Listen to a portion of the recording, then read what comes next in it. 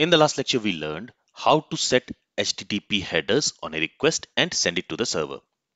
Now in this lecture, we are going to learn how to send some data with the request using query string. We have already talked about query strings in great detail in the routing lecture. In this lecture, let's learn how to set query string in a request URL when working with HTTP client. Let's go to VS Code. And here let's say when we are sending this get request to the server to this URL, with this get request, we also want to send some query string. And in order to send some query string with the request, what we can do is we can specify that query string in the URL itself. So here we are sending a get request to this URL. After this URL, in order to specify a query string, we can specify a question mark and then we can specify a name for the query string. For example, let's say page. And then we also need to specify the value for that query string. For that we say equal to and then we specify the value for that query string. So here let's say page is 2 and if we want to specify more than one query string we can use and like this and we can specify another query string.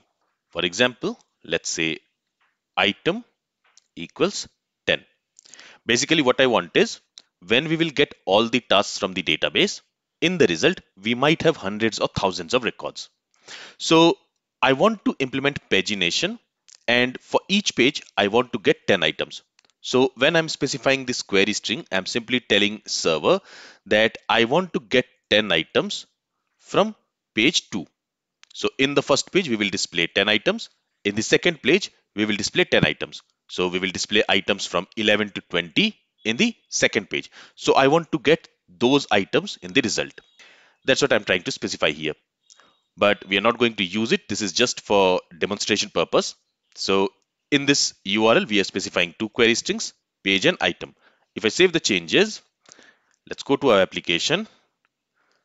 Let's again open network tab.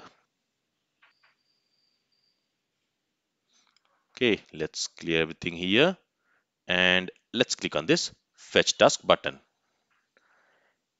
Here in the URL, you can see that after the URL, we have page equal to 2 and item equals 10.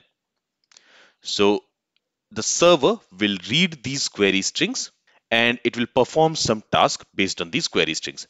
So in this way, using query string, we are sending some extra data with the request URL itself to the server.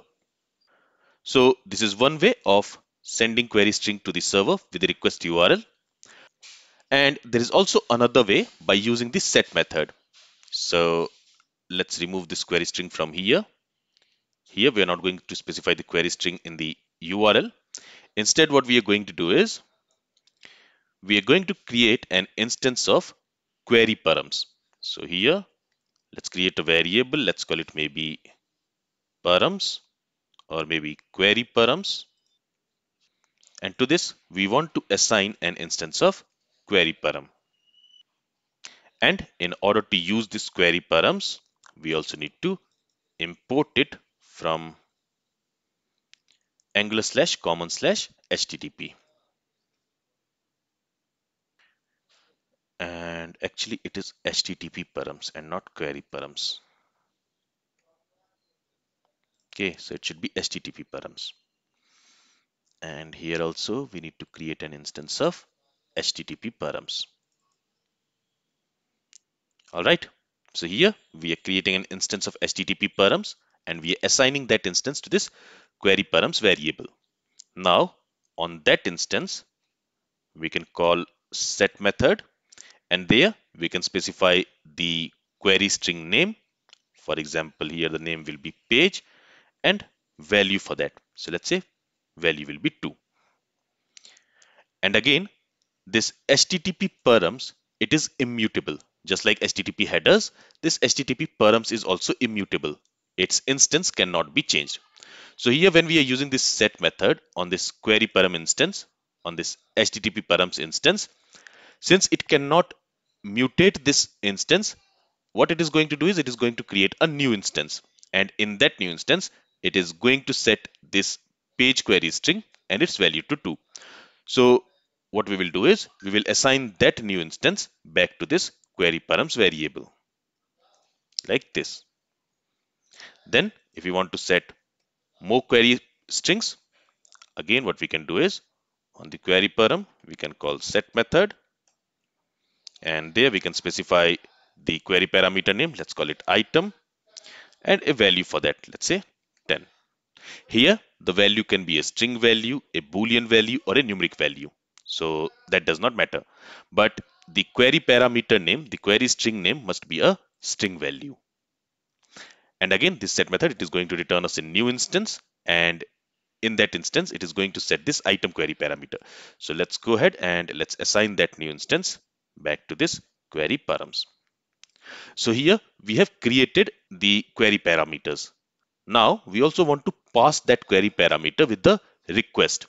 To do that, here this last argument which we are passing to this get method, it is an anonymous object. In that object, currently we are setting this headers property. Just like headers, we also have another property called params. And to this params, we can assign this query params instance, this instance of this HTTP params. Okay, with this, let's save the changes. Let's go to our application. Let's clear everything here. And let's click on this fetch task.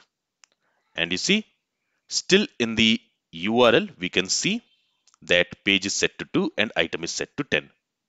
Because here in the Angular code, we are creating the query parameter, the query string, and we are setting it on that request on this get request. And since query parameters are specified in the URL, that's why here in the URL, you can see those two query parameters, page and item.